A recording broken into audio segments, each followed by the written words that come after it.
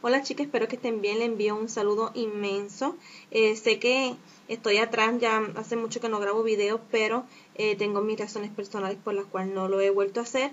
Pero este es un video súper corto, pero les quise traer lo que fue mi, mi último set. Y ahí como ven, eh, aquel era set que traía anteriormente, del que les voy a mostrar ahora.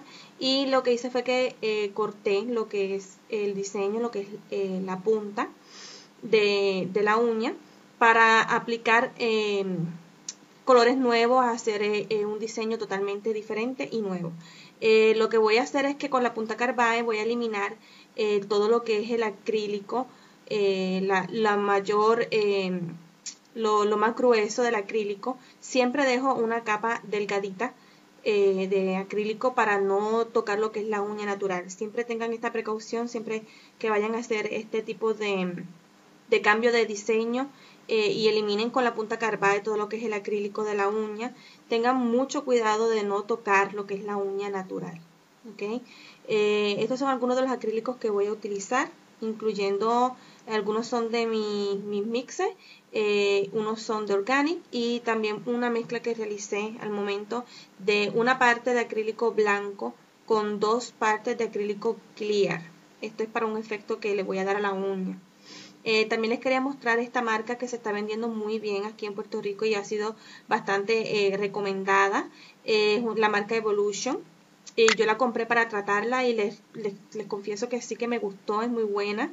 Eh, este es el cover de la marca, a pesar de que ahí yo le di mi toque personal. El, el color natural de, el color original de este cover era más claro y yo lo que hice fue que le intensifiqué un poco lo que es el rosa con el acrílico metálico Coral de Organic.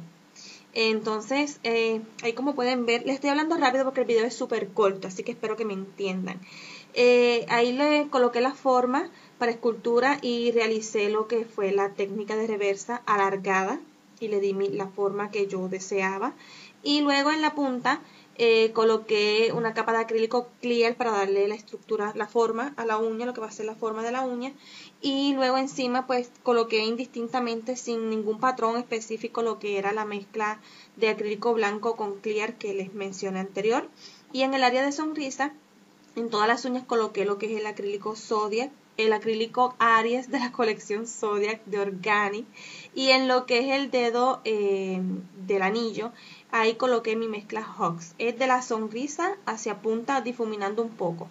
Eh, no es completo. Y también coloqué ala de ángel encapsulada.